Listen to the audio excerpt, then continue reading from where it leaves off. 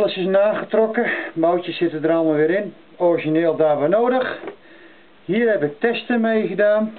En daar zie je nou de stelopening zitten. Je ziet ook een beschadiging zitten op het verzinkte gedeelte. Normaal gesproken zie je het niet omdat het niet verzinkt is. Maar ik heb hier een mooie nieuwe ingezet. En waarschijnlijk is de oude gebogen. Want ik kwam erachter nadat ik die oude eruit had. En het is niet te zien, maar er kloppen meer dingen niet aan. Nou, het veertje, daar loop je ook altijd mee te worstelen. Eruit, zo. Daar klopten meer dingen niet aan. En waarschijnlijk is deze afstand uh, ook niet correct geweest.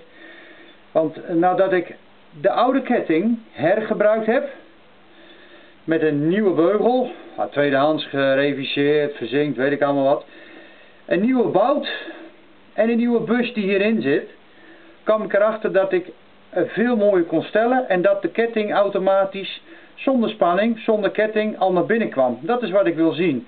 Dus de geleider pakte hem al op uit zichzelf. Dan heb ik de veer er nog niet eens op zitten. Toen kwam die al tot het eind. Dus dat was een vrije beweging en dat wil ik zien. Dus die oude beugel die gooien we eruit. Er is geen nieuwe ketting ingekomen. En dan voel je ook dat hij doet. En nou zie ik ook geen speling meer. En nou draait hij niet vrij. Dat is eventjes check, dubbel check. Gaan we toch bewust even de verkeerde kant op draaien. Kan de compressie zijn. Je hoort de compressie. motorblok draait wel vrij. Oké, nou laat maar gaan. Ik geloof het allemaal wel.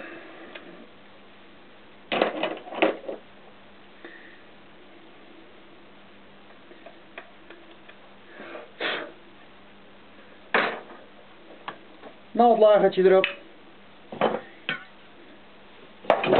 Nog even wat anders checken. Ik heb het nou toch open.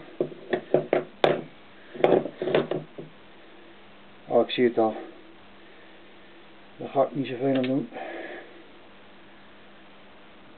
Dat is mooi.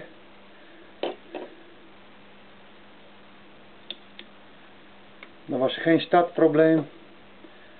Hij klappert wel eens met starten. Maar daar is nu niet noodzaak voor. Zo. Nou kan het zijn dat het vliegwiel er niet op wil. Dan moet je even het lager in het vliegwiel of het naaldlager in het vliegwiel douwen. En dan lukt het wel.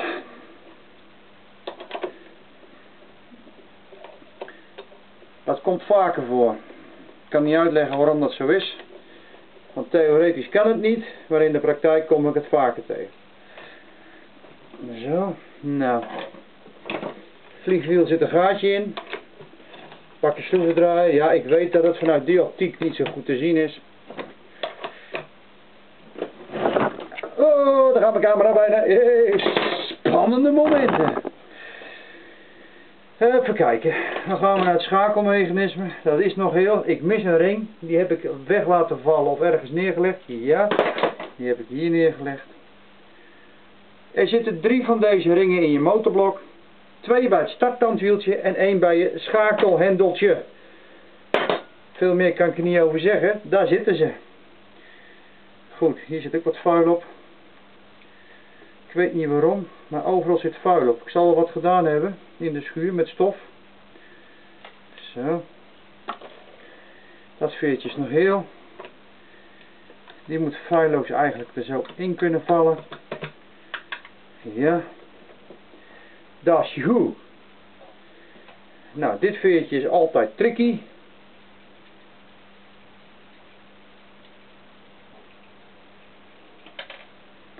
Levert de nodige ergernis op, dat veertje. En ook ik doe dat regelmatig fout op de een of andere vage. Zo.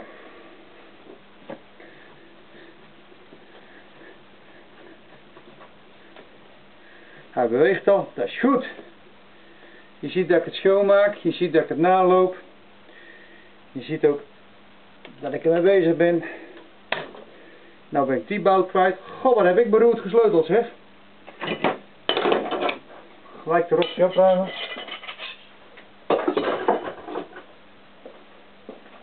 Ik heb hier nog een boutje liggen. Even kijken of dat de juiste maat is. Ja, lang zat.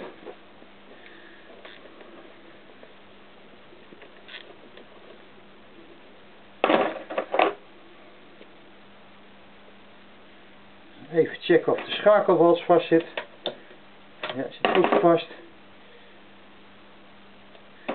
Kijken of deze vast zit. Goed vast. Dan heb ik eigenlijk alles gelopen. Hier zit een nieuwe O-ring op. Een andere maat dan Honda verkoopt. Ik ben even klaar met die Honda maten. Mooi, nu zijn we bij het punt aangekomen, dat ga ik nou niet doen. Dat we dus de pakking erop kunnen zetten. Maar ik moet eerst de achterdeksel in orde maken. De achterdeksel heeft nog niet de nieuwe waterpompziel. En jullie weten, oh dat boutje heb ik ook nog over, dat gebruik ik niet meer. Jullie weten, op het moment dat ik de achterdeksel eraf haal en de waterpompziel is een half jaar oud, gaat er een nieuwe automatisch in. Ik neem daar geen risico's meer mee. Ik wil hem de beste inbouwen voor je, maar dan krijg je geen garantie. En jammer dan als die lekt. Dat is nu niet de afspraak. De afspraak is dat ik dit blok zou repareren. Dat ga ik doen. En ik zet er ook een nieuwe waterpompziel in. En ik ben blij dat ik dat ook voorgesteld heb. Want die waterpompziel die viel uit elkaar. Dus dat was al geen discussie meer. Dat was gewoon een feit. Um, ik laat het hier even bij. Het is even een kort filmpje. Mocht je vragen hebben, mail gerust. Marco Becker, En ik ga straks verder eh, om dit blok weer in elkaar te krijgen. Bedankt voor het kijken. Tot later. Oh ja. Dus mijn handtekening is ook verzinkt. Die zetten we erop. We moeten erop passen. Hopla. Mooi. Netjes. Oh, dan word ik wel weer wat gelukkiger van. Ziet er allemaal weer schoon uit. Zo. Nou, bedankt. Tot de volgende keer. En uh, hier denkt eraan, die waterpompring. Dat is dus de latere model CX650, GL650. Dat is niet meer de O-ring. Ik monteer hier de nieuwe uitvoering op. A, het is makkelijker monteren. En B, de kans dat hij dicht is, is vele malen groter. En C, ik heb daardoor minder gezeur. Als mensen zeggen, hij past niet helemaal, hij lekt. Pak dan gewoon de nieuwe waterpompring. Helaas, hij kost 4,40 euro.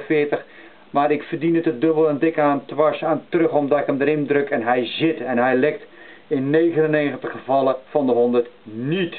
Dat is wat ik wil en dat wil ik jou ook laten weten. Dus pak daar gewoon die duurdere ring voor. Echt, minder gezeik, meer plezier. Het werkt fantastisch. Dan gaan we straks nog even kijken als het blok rechtop staat of de kleppen goed staan. Die stel ik even mee. Ketting is gesteld, dus ik verwacht straks een stiller blok. Bedankt, hoi hoi!